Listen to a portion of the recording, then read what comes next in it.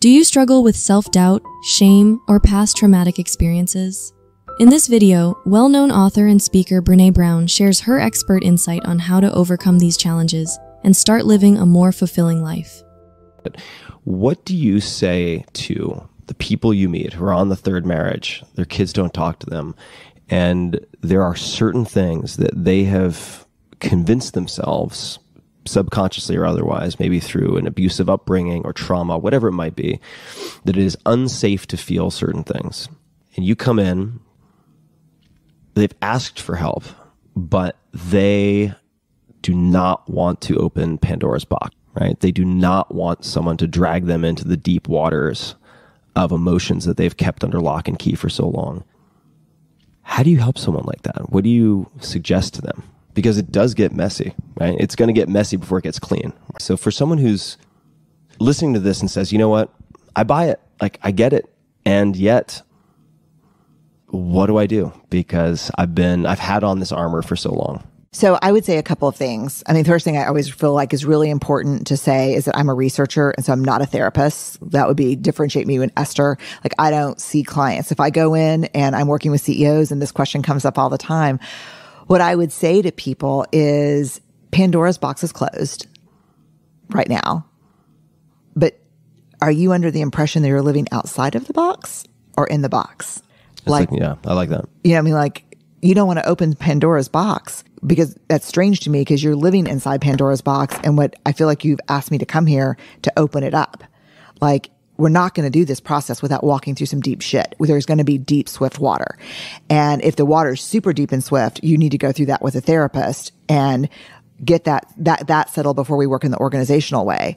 But what I would say to people, what I always say is, is the same for me. And I'm sure the same for you that we all grew up and experienced to very varying degrees trauma, disappointment, how, you know, hard stuff. We armored up. And at some point, that armor no longer serves us. And so what I think I would say to that person is, how is not talking about this serving you? Mm-hmm. Like, I've been sober for 23 years. So someone in AA would be like, how's that shit working for you? Mm-hmm. You know, like, but I probably would put a softer spin on it than that. Right. Um, over black coffee and a cigarette. But, you know, but I would say that it's not serving anymore. Mm-hmm. And now the weight of the armor is too heavy and it's not protecting you. It's keeping you from being seen and known by others. Mm-hmm. And so this is, I mean, just tell you quintessentially, this is the developmental milestone of midlife from late 30s to, you know, through probably your 60s, this is the question. Hmm. You know, this is when the universe comes down and puts her hands on your shoulders and pulls you close and whispers in your ear, I'm not fucking around. You're halfway to dead. Hmm. The armor is keeping you from growing into the gifts I've given you. That is not without penalty. Time is up. Hmm. So this is what you see happen to people in midlife. And it's not a crisis. It's a slow, brutal unraveling. And this is where everything that we thought protected us keeps us from being the partners, the parents, the professionals, the people that we want to be. And there are only, I've only seen, this is a fork in the road. I've only seen two responses to this visit from the universe. Well, there's, a, I guess there's, there was my response, which I, I was like, screw you, bring it. Like you think you, you can, you, you think you can best me? And then it was just one nightmare situation after another until, you know, you're not going to win that fight. Right. I think if you say, you know what, I'm not, I'm not going to do it, then you've got to double down. These are the people that walk through the world, double down on their own shit, in denial, you know, cheek squeezed as they walk and cause so much pain in the world. Yeah to themselves as well. I mean, right. yes, because it is so much easier to offload pain than yeah. to feel pain. Yeah. And so you really have a choice in midlife whether you're going to be, you're going to, you know, identify, you know, the first step of it, the whole process is what armor. And I'm not saying like, I'm not saying just pull off all the armor and streak through Austin because I think you can't replace the armor with something. Hmm. I think it's curiosity is what you replace it. You just become very curious about yourself, about the world. Why did I react that way? When Tim asked me that question, I wanted to like hit him over the head with a Topo Chico bottle. You know, what was going on there? Do you know what I mean? Like, Yeah. what is my obsession about this? You just become very curious. Is curiosity is really the superpower um, for the second half of our lives because it keeps us learning, it keeps us asking questions, and it increases our self awareness. But when you see, and I think it's really hard because, you know, I'll walk into a situation and there'll be the person who invited me is usually the CEO.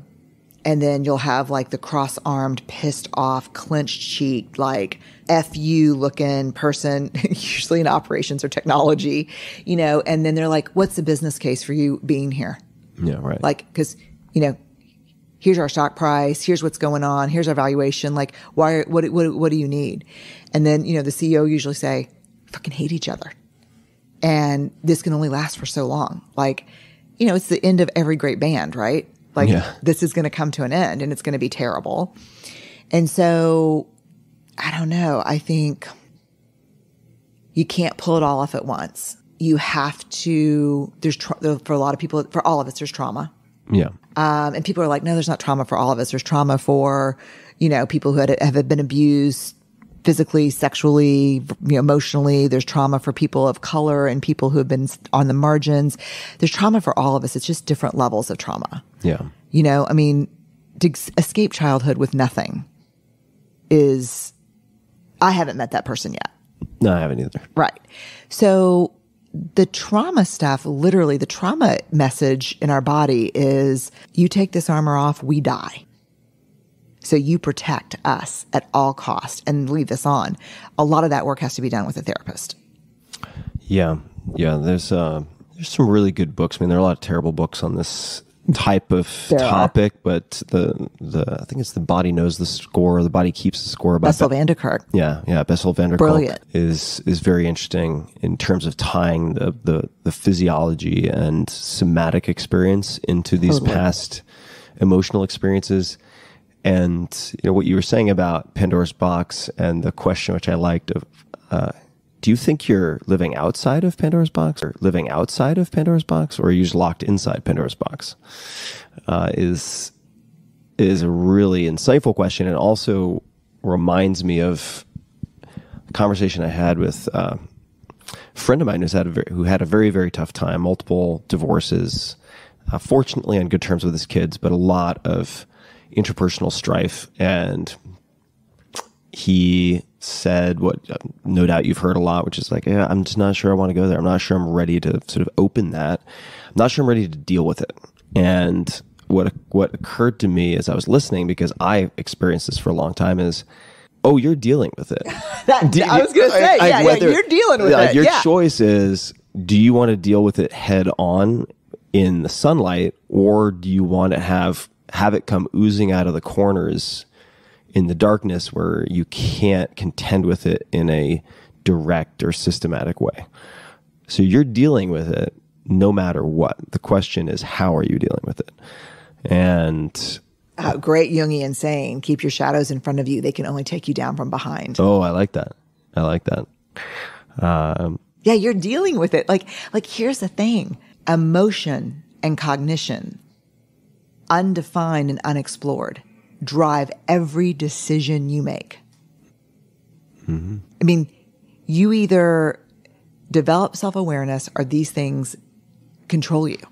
Like, I mean, it's, but it's really, I have to say that it can, as someone who chooses affect or affect words carefully, it can be terrifying for people. yeah. But rarely does anyone around them who knows them, like you with your friend, say, Oh my God, I'm shocked to hear this when the reveal comes out. Yeah.